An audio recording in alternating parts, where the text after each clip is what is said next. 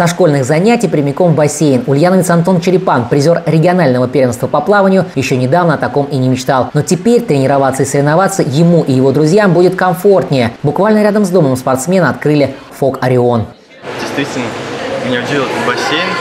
Не только э, эстетика и эргономика самого бассейна, но и то, как он сделал. То есть э, большинство дорожек, на которых мы плаваем, могут быть неаккуратны, а тут сделано все на величайшем уровне. На высочайшем уровне не только бассейн. В спортивном комплексе «Орион», что расположен в Заволжском районе Ульяновска, все сделано по высшему разряду, что снаружи, что внутри. Несколько залов аэробики, фитнеса, борьбы и, конечно, большой зал для игровых видов спорта. Качество паркета здесь вообще мировое, отметил чемпион Европы по баскетболу Никита Мургунов. Площадку, кстати, первыми опробовали юные спортсмены. Сразу после церемонии открытия в «Орионе» прошел финальный матч региональной школьной спортивной лиги с участием баскетболистов Чердаклинского и Ульяновского районов.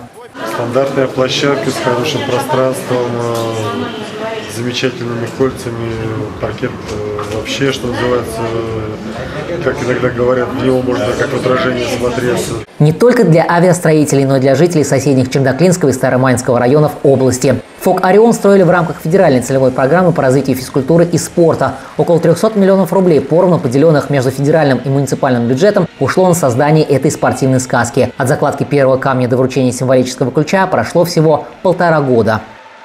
Это практически часть, потому что здесь рядом еще э, появится в ближайший год-два э, ледовый каток. Э, да, нам уже губернатор такое поручение дал. Фанфары отзвучали и начались будни. Через 3-4 дня Орион войдет в свой рабочий график. В расписании ФОКа не только тренировки, но и соревнования как регионального и поволжского масштаба, так и всероссийского.